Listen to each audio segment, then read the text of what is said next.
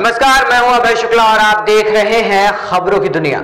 आइए नज़र डालते हैं इस वक्त की बड़ी खबर पर। जौनपुर महाराजगंज क्षेत्र के पिपरी गाँव में समाज सेवी व उद्योगपति अमरदेव सिंह और ग्रामीणों के सहयोग से एक भव्य विशाल राधा कृष्ण मंदिर का निर्माण हुआ, जहाँ गुरुवार वृंदावन से पधारे संतों के मंत्रोच्चारण के बीच पाँच दिव्य स्थानों का भ्रमण किया गया। वहीं क्षेत्रीय लोगों ने शंखनाद और हाथी घोड़े और बैंडों के साथ भ्रमण किया। करोड़ों रुपए से हुए भव्य मंदिर देखने व मंदिर प्राण प्रतिष्ठा में क्षेत्रीय लोगों के साथ महाराष्ट्र के सैकड़ों समाज सेवियों ने दान किया। वहीं वृंदावन से पधारे संत का कहना है कि ईश्वर की कृपा जिसके ऊपर होती है, वही मंदिर का निर्माण कर सकता है। ईश्वर का नाम लेने से ही सारे दुखों का नाश हो जाता है। वही इस मौके पर समाज सेवी अमर देव सिंह, वरिष्ठ फार्मासिस्ट उपेंद्र प्रताप सिंह सिद्धनाथ सिंह उद्योगपति संजय सिंह भाजपा नेता राजमणि सिंह रविंद्र प्रताप सिंह लालजी तिवारी वृंदावन के पुजारी व सैकड़ों विद्वान मौजूद रहे। कहना चाहेंगे क्या?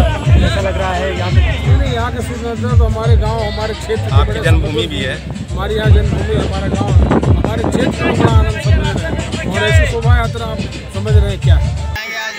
कार्यक्रम के विषय में ये कहना है कि बड़ी प्रसन्नता और बहुत खुशी है।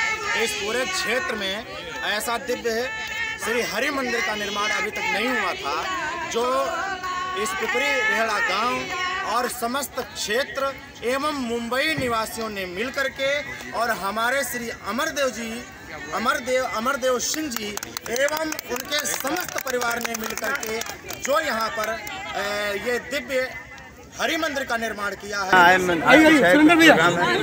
से बहुत अच्छा लगा। ये जो कार्य हुआ है पूरे क्षेत्र के लिए बहुत अच्छा कार्य हुआ है। शंकर मिश्रा मैं बम्बई से आया हुआ हूँ। और बाबू अमरदेव सिंह के ये मंदिर के विशेष करके प्रोग्राम के लिए। ठाकुर जी गोपाल जी ये सब लोग वृंदावन से यहाँ पर यहाँ पर आए हुए हैं लाया गया है और इनकी मूर्ति प्रतिष्ठा कल कल प्रतिष्ठा का कार्यक्रम होगा और आज का जो कार्यक्रम है ये नगर भ्रमण का कार्यक्रम रखा गया है। बताइए। हमारे क्षेत्र की गौरव की बात है ठाकुर है।